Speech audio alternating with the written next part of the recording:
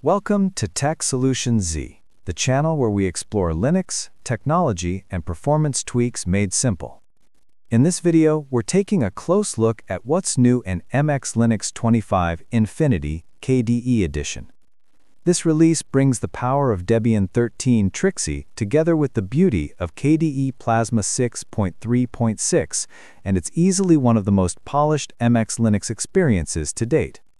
MX25 comes with a refreshed base built on Debian 13, giving you updated software, newer libraries, and long-term support straight from the source.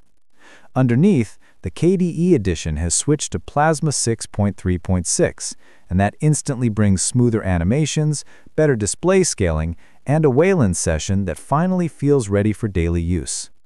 Wayland is now the default session, which means better gesture handling, cleaner graphics, and fewer visual bugs on high-resolution displays.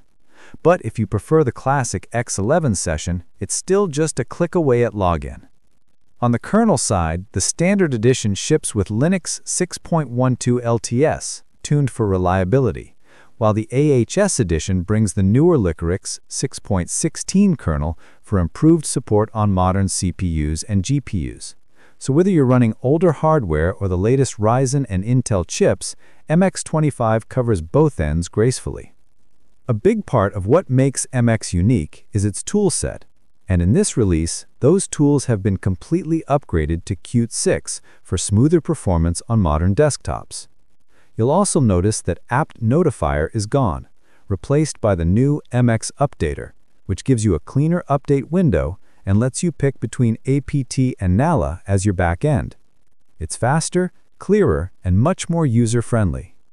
The installer also gets a smart upgrade with a replace existing installation option, letting you reinstall MX Linux without wiping your home folder. Perfect if you want to refresh your system but keep your files and settings intact.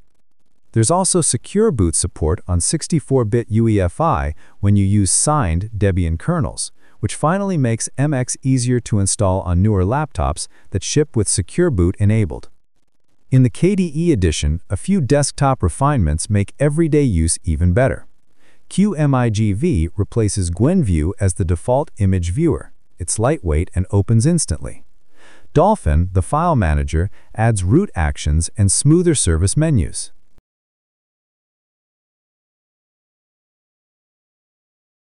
Power management now runs on Power Profiles daemon, keeping KDE's battery and performance modes in sync with your hardware.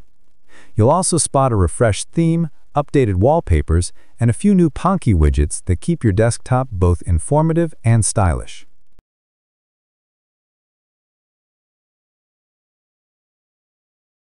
MX Cleanup has been improved too.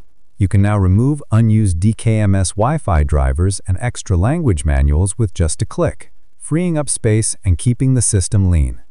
Combine that with the stability of Debian 13 and the flexibility of KDE Plasma, and MX25 feels like one of the best mid-weight desktop Linux distributions right now. So, in short, you get a cleaner design, smoother updates, easier installation, more security, and an up-to-date KDE experience, all without losing MX's reliability and control. If you're coming from MX23, there's an upgrade path available, but for most users, a fresh install will give the best results. That's all for today's look at MX Linux 25 Infinity KDE Edition.